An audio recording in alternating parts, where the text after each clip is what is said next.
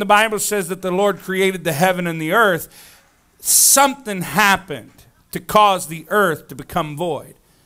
Now, when we're talking about this in a specific context, we understand that at this particular point in the creation that there was darkness and there was voidness and, and what we see today was not here. No trees no birds no no no water no oceans no sea life and all of the things that it takes place for the earth to be such a beautiful place in which we live. But as we understand that something caused it to take place uh, the very care that god put into his creation speaking it into existence and the plants growing and, and, the, and the land moving and the waters uh, bringing forth the, the, the animals. And, and, and, and I just can't imagine what it must have felt like the very first time a humpback whale popped up through the ocean and shot one of them sprays into the air. I, I drive down our, our landscape sometimes, Brother Richardson, and, and I'm trying to imagine what this must have looked like before man got a hold of it and put highways and buildings and all of these things. How,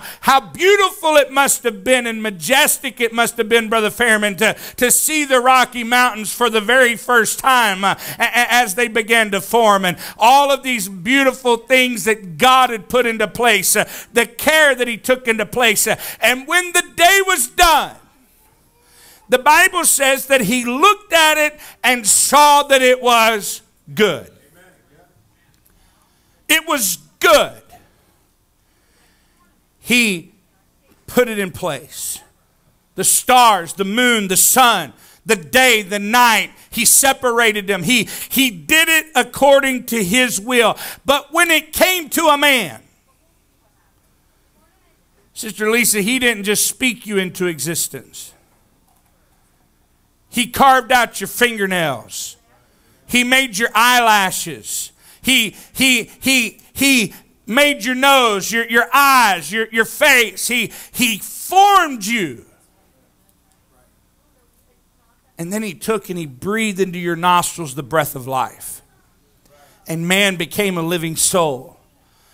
And they enjoyed a communication day in and day out in the cool of the evening where man would come and visit God and God and them would commune together and speak together. It was all for a relationship, you see, because he had created beautiful beings before and he had developed them for a certain specific situation. Uh, but because they were created to worship him and not have a choice, there was no real relationship between those.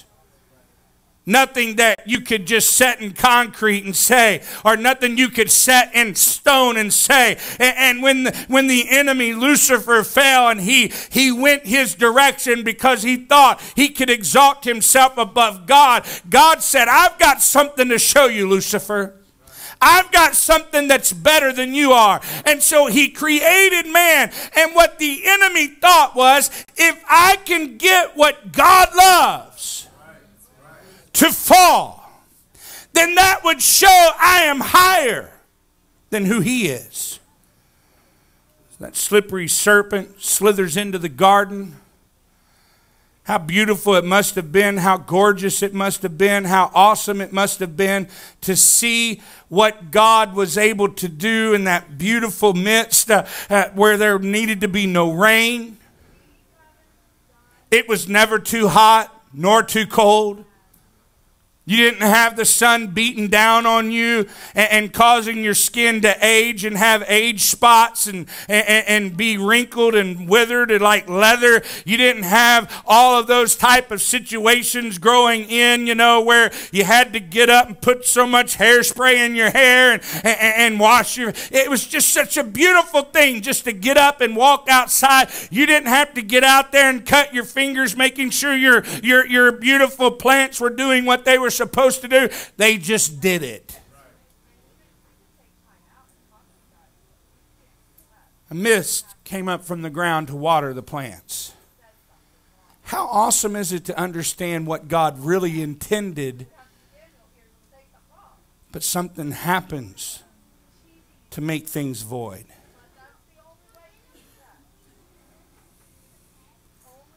See, when I read Genesis chapter 1, verse number 2, I, I see the creation, but what I also see is where we as a soul are without God.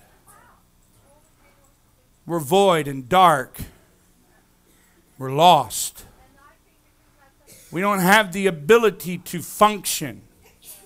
We don't have the ability to do the things on our own. And it takes the Spirit of God to move upon the face of what we are to make us into something. His care, His detail, the, the very heartbeat of God to reach down into this creation. He could have wiped it off the face of the earth as a potter does something that's not quite working correctly, taking it eh, off the wheel and putting something back on there that's workable.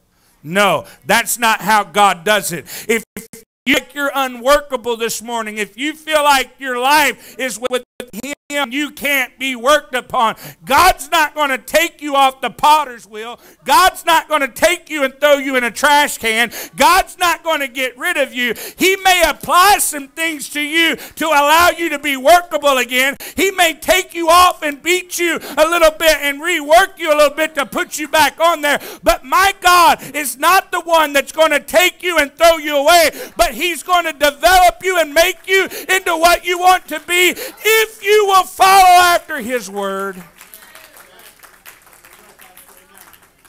And even when His creation doesn't listen, don't eat of the tree. I mean, it would be easy in Pentecost today if we only had one rule. Right? Don't eat of that tree. I think we could all make it. Be real easy. No. See, new rules get made because old ones are broken. Why do you think that they have this manual this thick at a job that you get hired at just to flip burgers?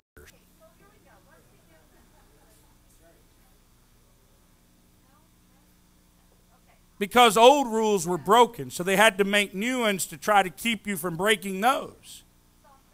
I'm not saying this because I'm going to throw out a bunch of rules you have to follow. I'm saying this because the reason the Word of God is this thick is because He's giving you a path to get back to the simple thing don't eat of the tree. That was the only rule that he had. The very simplest of everything that God designed for us is don't do that that I've asked you not to do. That's it. But unfortunately, because we're human, we make mistakes. I make them, you make them. We fall flat on our face. We stump our toes. We, we, we fail God miserably. Brother Lewis, if, if we had to make it upon our own ability, we wouldn't have a shot. There's no way, as sweet as the Shelley sisters are, that they would make it upon their own ability. There was no way that anybody could make it on what they can do because we're all null and void without God. But even in their despair of where they had fallen, and God comes into the garden and he is listening for Adam, and Adam is not there, and he's listening for Eve, and she's not there, and he calls to them, and finally they say, Here we are. Where have you been? Well, we were hiding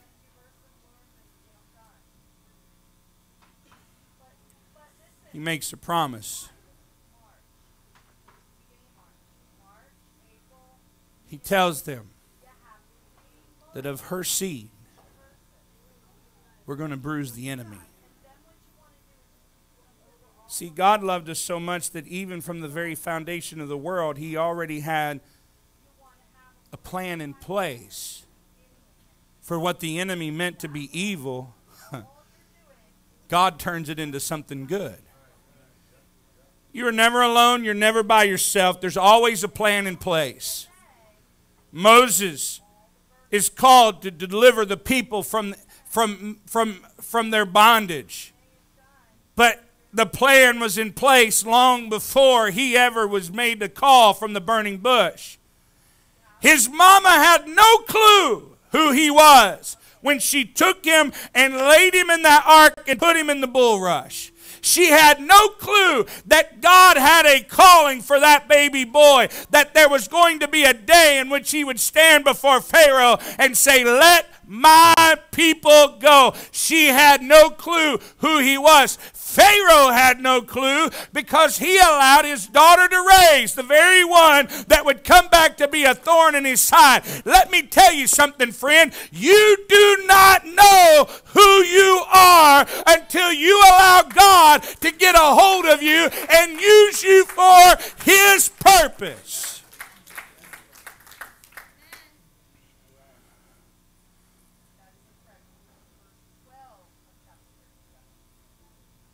Baby cry calls out to Pharaoh's daughter. She picks him up, knowing that the law was they were all to be killed. But what harm is one little baby?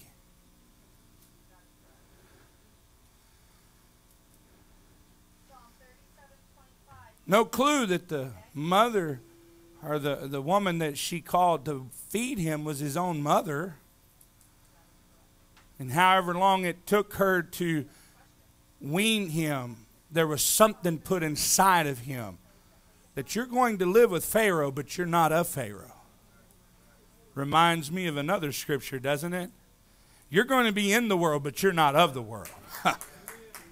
Friend of mine, you're not your own. You don't belong to yourself. It's not your choice, your desires, your will. It's His will, His desires, His choices. He's already bought you with His own blood. He paid for you, but not because He wants you to be a slave to him, but because He loved you. Of all the religions that are out there, Christianity is the only one that says it's free. If you look at Buddha or, or Hinduism or any of those, you've got karma or the eight steps to tell you to in order for you to use your, your but not in God. All you do is just follow the plan of salvation, and that's all that you have to do in order for you to be saved. Let me tell you something, friend. My God loves you, He cares for you, He desires to see you saved. It's up to you whether or not you follow through with what He's called. And he puts a plan into place.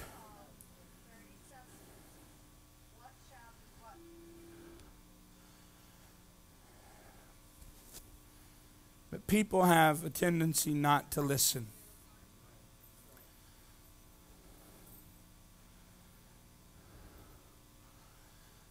I, even more so in this day and age. I,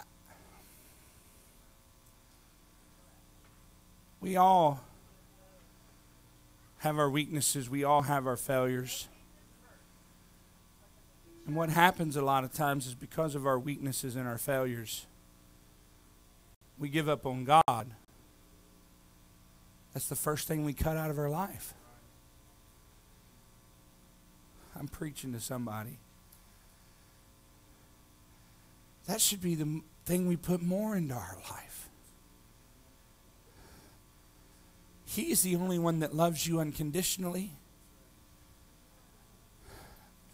He's the only one that really desires to see you do well. Oh, but if he really did love me, he would do such and such. Well, if you really loved your kids, you'd feed them ice cream at 2 o'clock in the morning.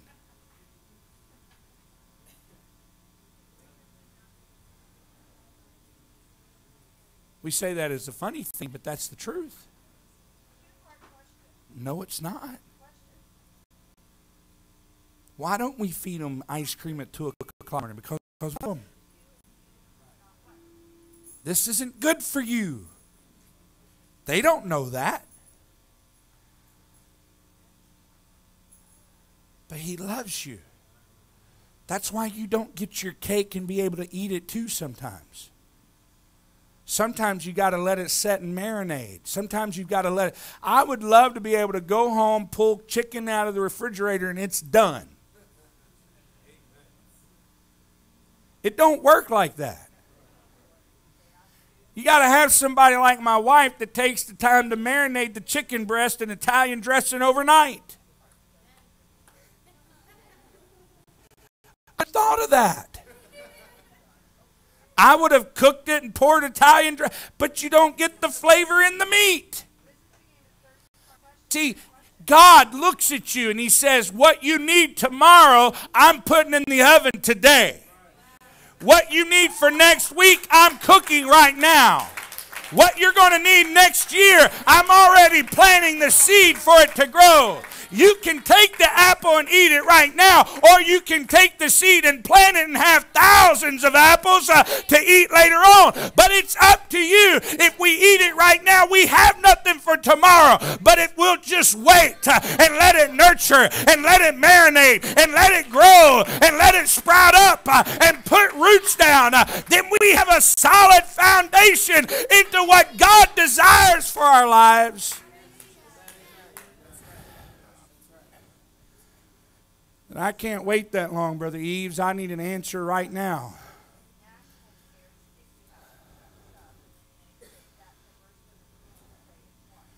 I'm in trouble right now. I, I, I, can't get through this trial right now. What can I do about right now? Well, let me take you to a boy who had been anointed king, who was on his way to do nothing more than defeat his brothers who were at war.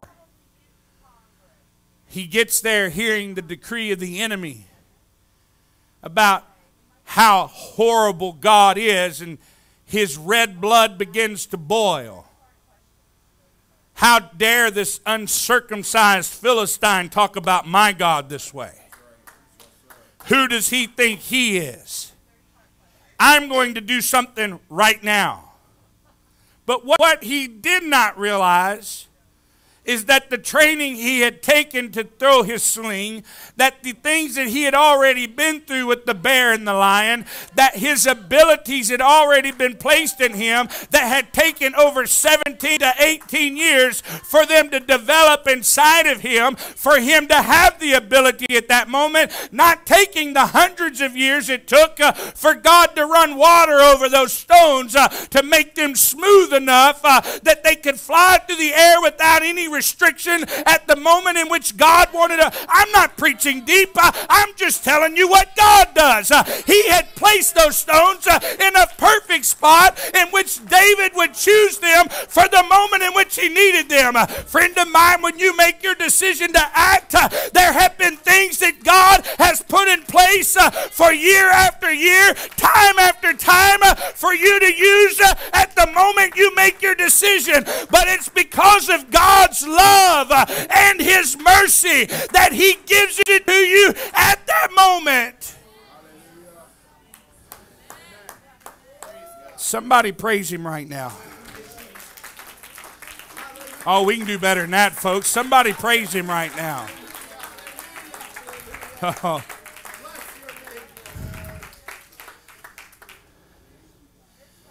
See, because we're such a microwave generation, we fail to realize that there's some preparation that has to take place. You don't just get to preach general conference.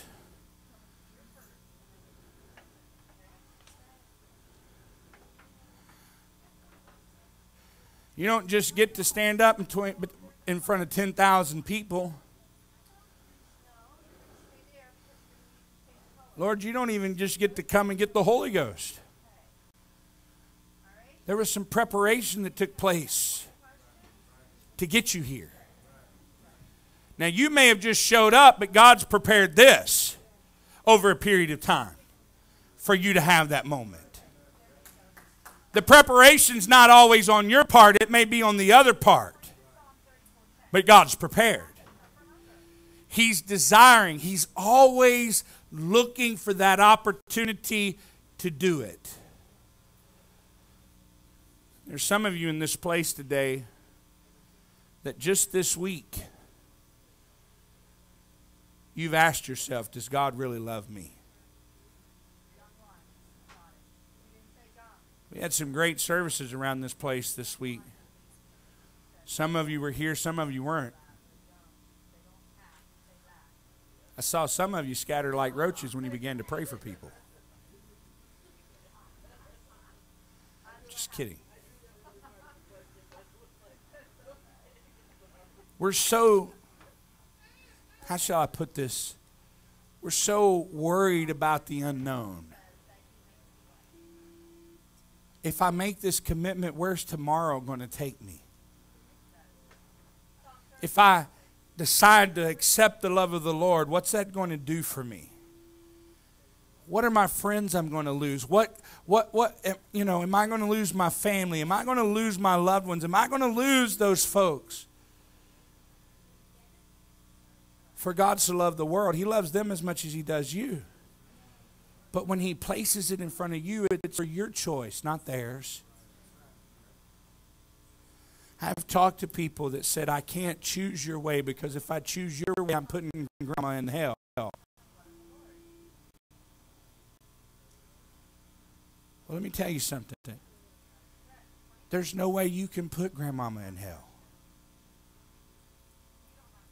That's not our choice. The word is the same as 500 years ago as it is right now. That doesn't change. But it's up to a God who loves her. But to whom much is given, much is re. The Lord gives you that chance because He may be calling you to something great. You may be that baby boy that He's placing in the ark right now. The enemy's out to kill you and destroy you. The enemy's out to rip you apart and tear you down. The enemy's out to, to literally suck the life out of you. And there you are, helpless, floating in an ark,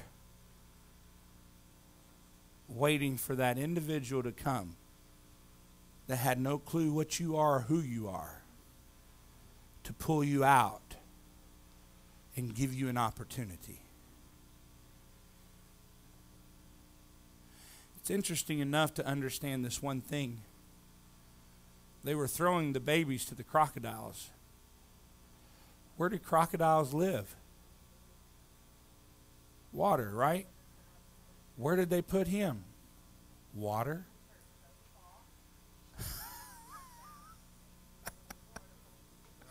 what the enemy meant for evil, God said, You can put your crocodiles anywhere you want to. I'm going to put my Savior right there in the middle of them. you do what you want to do, devil. I've already got a plan in place. I've already got something going on. What they didn't what, what the enemy didn't realize was is that at the exact spot that the Lord told that mama to put that ark, whether she knew that's what God said or not, that's where God wanted it. That Pharaoh's people, because his daughter needed to take a bath, was out there slapping the waters earlier to drive away the crocodiles. Just, it doesn't say this in the Bible, but just think about this. You're going to go to the river to take a bath. I want somebody to go down there and scare off the beasts.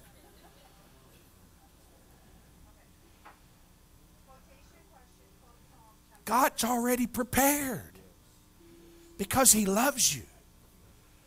He cares. He desires to see you saved. He desires that on that day in which He looks at you in your eyes and says, Well done.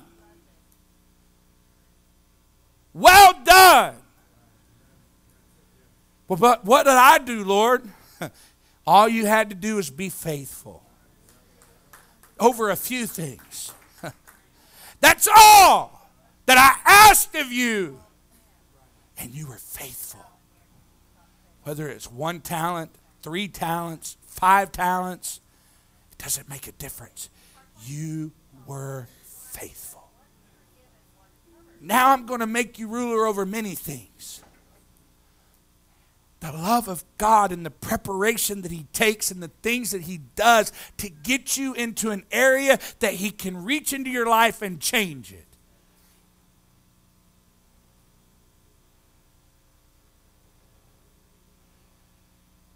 How many's ever had sourdough bread? From my understanding, it you can't just cook sourdough bread. You have to take the you have to take a bit of that dough and store it somewhere. And then when you make your new batch of dough, you have to take that old dough to put in that dough and then let it set for a few days, maybe weeks, I don't know, to allow it to sour before you cook it. Then when it comes, you know, but you take a piece of that that you've made and set it aside for the next time.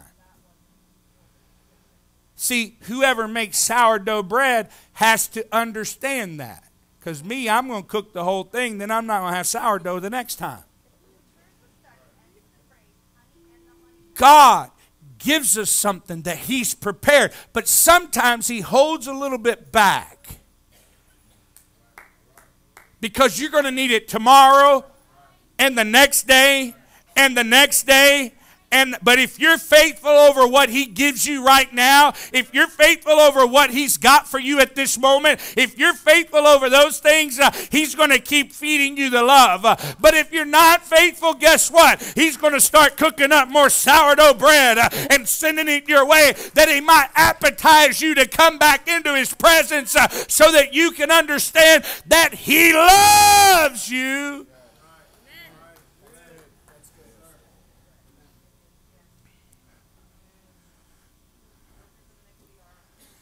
His desires.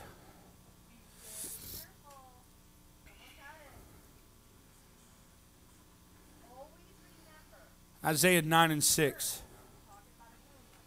His desires for you.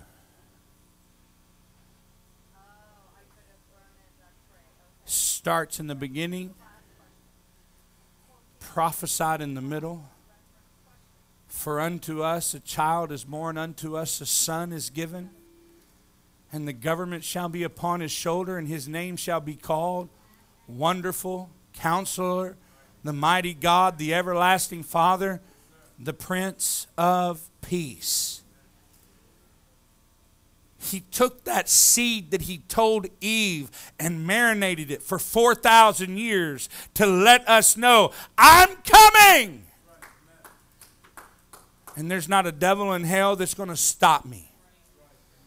And then that midnight cry and that moment in which he was born and, then, and they smacked his bottom and he began to cry and breathe that air. There had never been a cry like that in the world before. There had never been a situation in which the world understood where the stars began to bow, the sheep began to bow, the angels came out and began to proclaim, shepherds began to travel miles, wise men traveled for days to get to the point in which that baby had cried for the first time. Why? Because the cry in which that baby cried was, I'm here, world, and I love you, and I'm ready. The enemy tried to destroy him, the enemy tried to kill him. Nope. God said, You know what? I'm going to take him back to the shores uh, in which I'd sent my first Savior and let him know that he is there because I love him as well. And he develops and he grows uh, and he matures. Uh, and one day, guess what? He said, It is finished. See, the wrath of God the world has never seen like Jesus saw it. There has never been a man beaten like that man was beaten. The entire wrath of God that rained upon him that day and that night.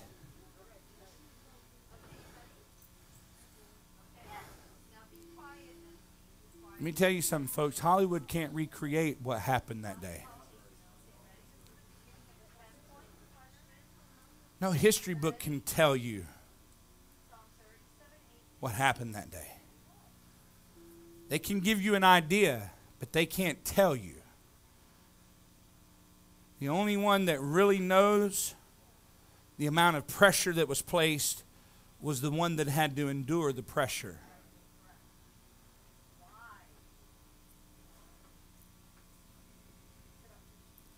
Every lie that has been told, every dollar that has been stolen, every adulterous fornication affair, every cheating, embezzlement, every drunken situation, every homosexual affair, every sin in the entire world from beginning to end was placed on his shoulders.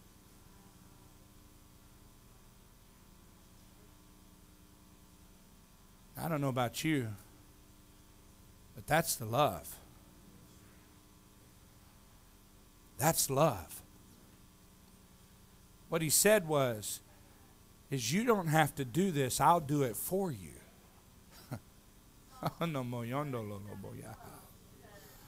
the law says they should have been stoned. Jesus said, I'm going to do one better than stoning them. I'm going to get beat. I'm going to be whipped. I'm going to be cursed. I'm going to be spat upon. I'm going to have a crown of thorns in my head. I'm going to be taken to a cross, nailed to it, and I'm going to hold on to it with love.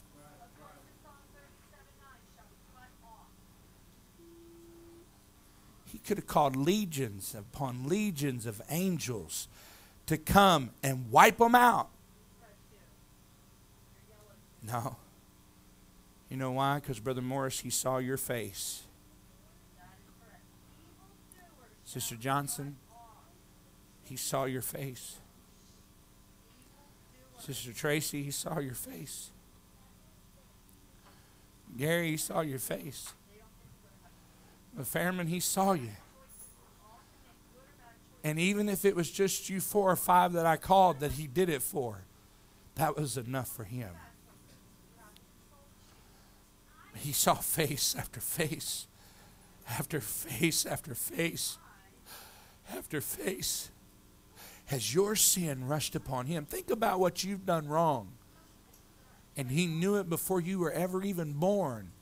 And he said, That's okay, I'm going to take it. I'm going to put it under my blood. And all you have to do is accept it. That's it. There's not a thing in this world that you can do that God cannot cover it. You know why? Because it's already been covered. The only thing that keeps you from being able to be in a situation in which you can see what God can do is if you don't step under the blood yourself.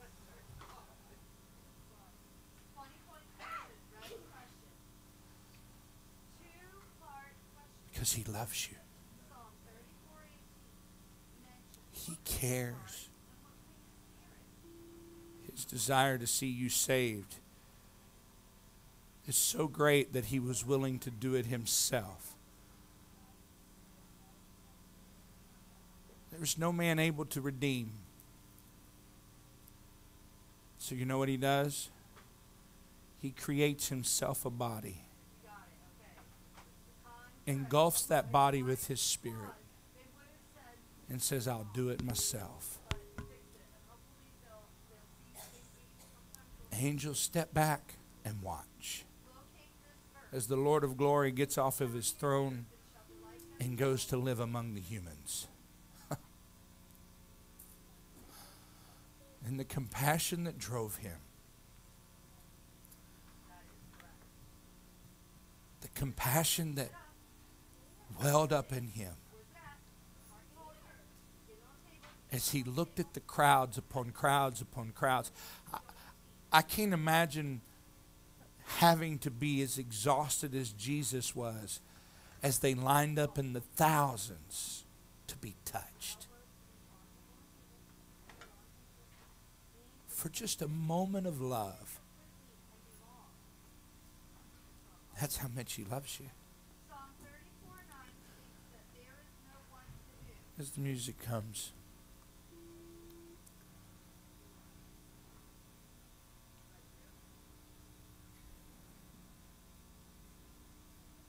Came across this a few years ago. And I've shared it here before. I'm going to share it again today because I feel like there's something about this story that really makes me understand what Jesus has called us into. In the book, The Star Thrower, the writer tells of the day where he was walking along a beach where thousands of starfish had been washed up. He noticed a boy picking up a starfish one at a time and throwing it back into the ocean. When he asked him why, the boy said, If I don't, they'll die. The question that he asked the boy, he said, But how can saving so few make a difference when so many are doomed?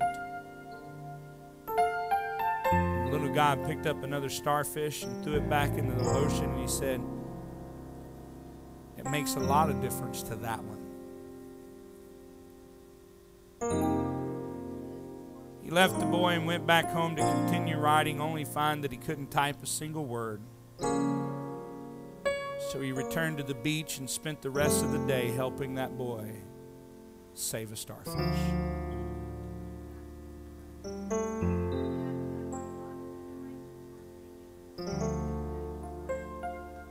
See, Jesus gives us the opportunity to be better than who we are. If we look at the story of the crucifixion of Jesus,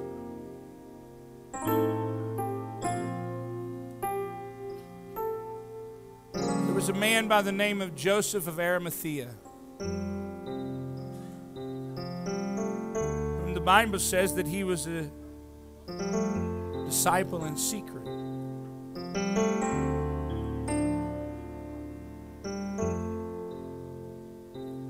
But when Jesus died, the disciples that were in the open scattered, and nobody was there to claim the body. So Jesus is dead. And Joseph steps forward and says, I'll take him on. I'll be that man that nobody else wants to be. Because of his love for me, let me return the love back to him.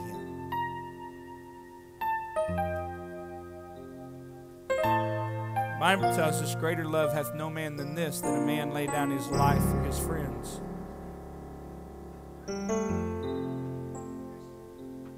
What a day.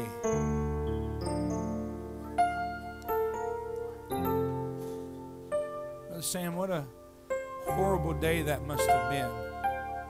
To know that the man that you loved for three and a half years, or a mom that saw him grow, sat there and watched him bleed and die. To feel the earthquake as the Spirit of the Lord rumbled because of what had taken place. Darkness moving upon, sun setting.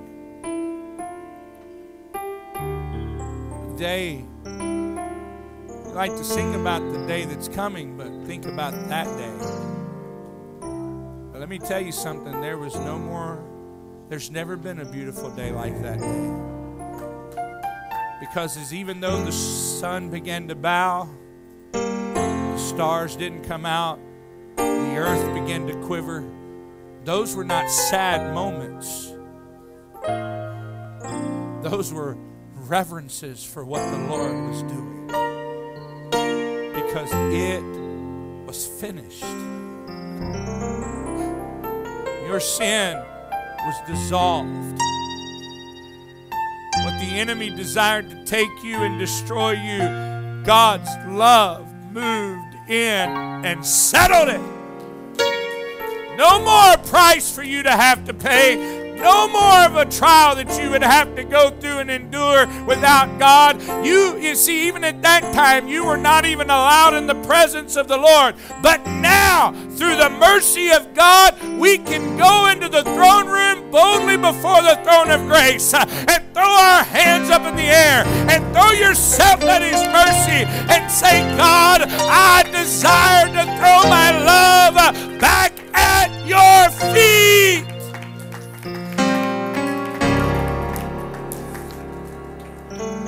All stand, every head bowed, every eye closed.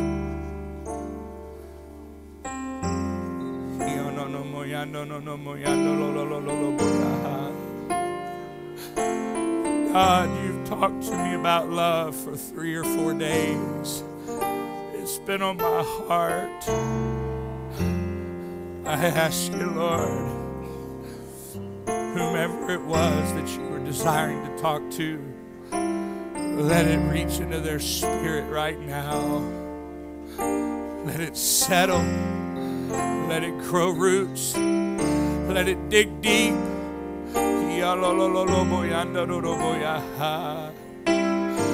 Let it be there, Lord. I'm going to open up this altar.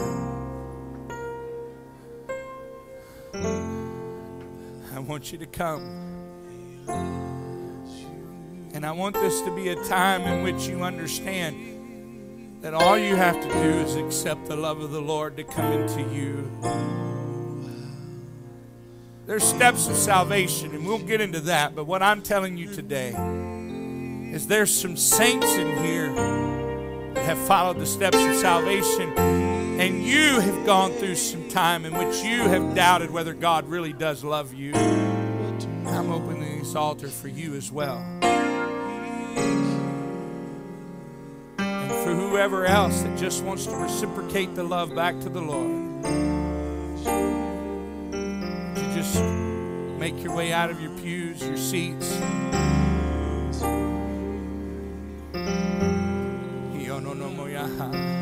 I love you, Lord. I love you, Jesus.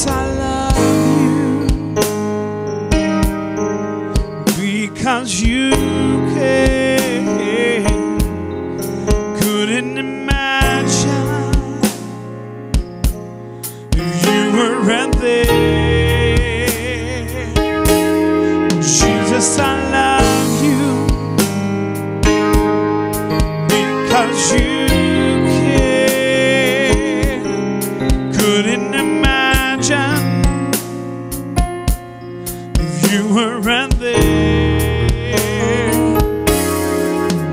Not because of being so faithful, not because of being so good.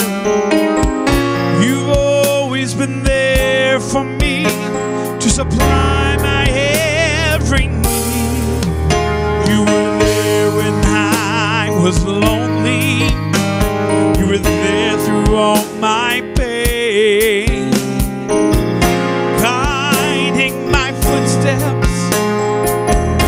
shelter from the rain. And Lord, it was you that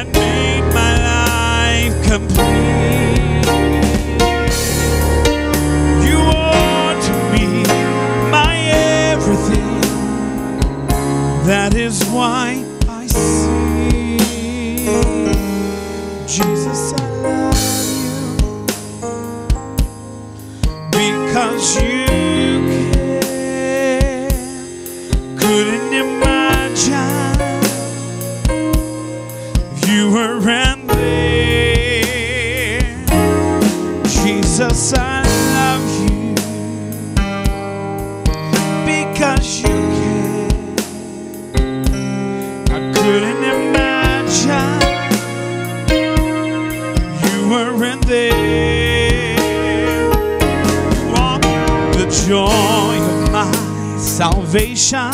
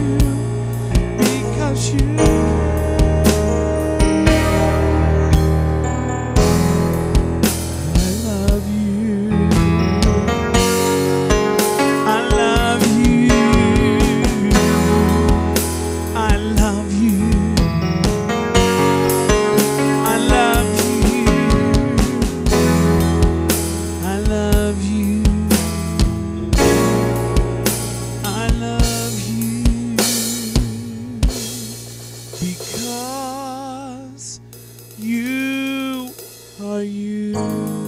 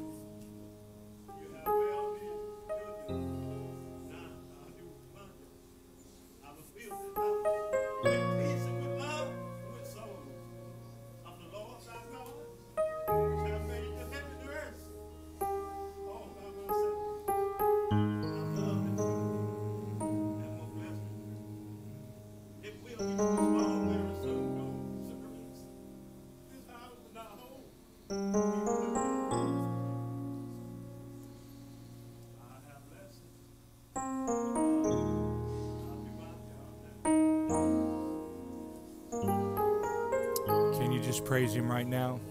Hallelujah, Jesus.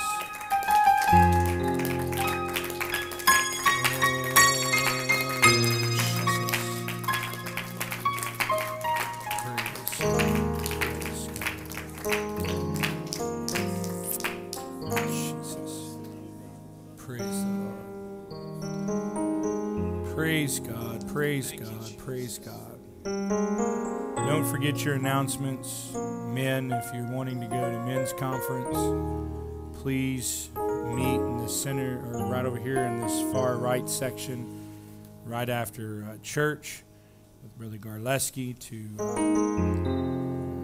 get some information for that. Um, men's conference is a beautiful thing if you want to go. Ladies, don't forget the ladies' fellowship. I have never had somebody look at me so mad as Sister Tracy did when I said, just make sure they cook before they go. So I will never make her mad again the rest of my life. She turned around on Brother Lewis. I can understand why you don't make that woman mad. She, she, she, she looked at me. I'm like my father-in-law. I just like to pick a little bit.